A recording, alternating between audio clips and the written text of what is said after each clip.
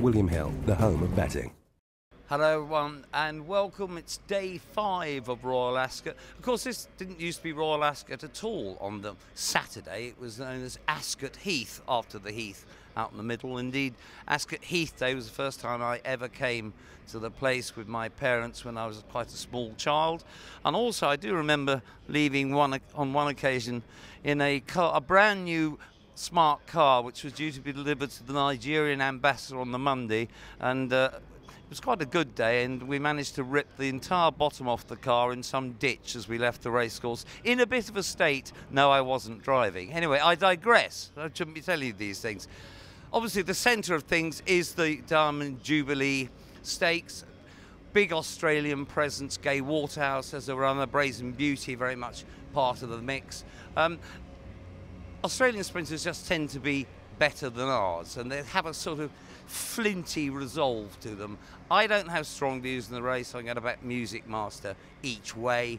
Um, the rest of the card, I have to say, I've got do have quite strong views. I'm going for a John Gosden double. Mahsoob, who is one of the most improved animals in training, who was entered in the Arc de Triomphe two days before he won his handicap at York last time. Tells you a bit about how they think of the horse. And Eagle Top in the Hardwicke, which has got telescope to beat.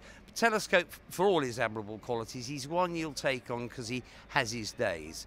What has been extraordinary this week is the, the Ryan Moore extravaganza, jamboree, uh, whatever you want to call it. It's really been like a stampede. And to have this man riding at the peak of his powers at the most important flat meeting in the world, it's actually been kind of a joy to behold.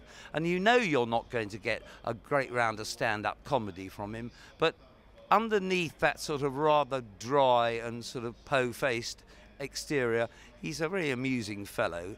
It's just he's kind of become prisoner of his own image a bit, hasn't he? And uh, it's going to be interesting to see as he becomes more and more of a public figure how he sort of melts and moves towards the public.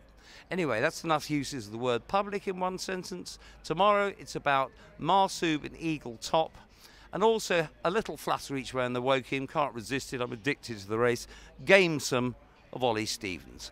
I hope you're ahead of the game after five days. I'm still waiting to get out of trouble tomorrow, but I'm confident of doing so.